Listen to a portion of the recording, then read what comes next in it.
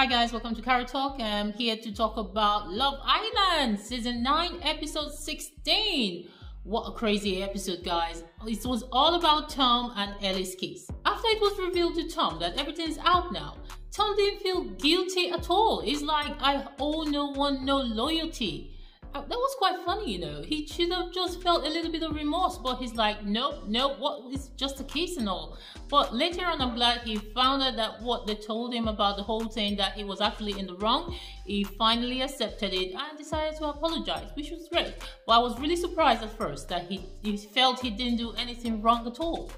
And as for Olivia, I knew that Olivia was just gonna definitely go back to Tom. You know, after the apology, it seems like she started warming up to him. And first of all, she was saying that there's a big lock on that door, but I don't think so. I think the door is still slightly open.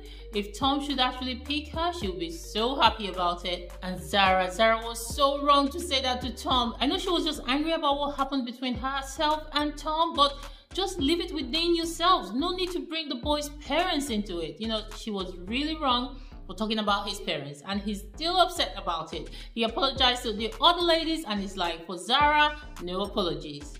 And Ron, it's like we're gonna give Ron the nickname the head turner because with every girl that comes in, his head is turning. That girl is his type on paper and he's just hurting Lana over and over again. How much can this girl take? With each girl that comes in, it's like, oh, you're still my number one, but I just wanna get to know this other girl.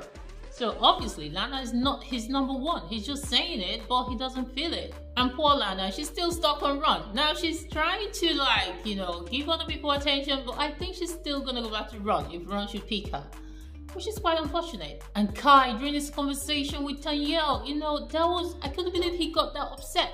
You're talking to a lady, even though the lady is yelling and all, just take it, be gentle about it him getting that angry wasn't so charming at all. I didn't like that. And Tanyel definitely didn't like that at all. She's like getting the eat now with him, which is not good. First of all, I thought these were the two that would actually last as a couple to the end, but now it seems so shaky. And the boys are gonna pick. So which girl is gonna go? When they announced that the boys are picking, Ella was so scared, thinking she's gonna leave. Well, as for me, I think it might be Ella or Zara. Most likely, Zara will be going home. But what do you guys think? Let me know your thoughts about it in the comment section. And who do you think will be going home? Let me know. And before you go, don't forget, like, share, subscribe, hit the bell icon, and I'll see you for my next video. Bye.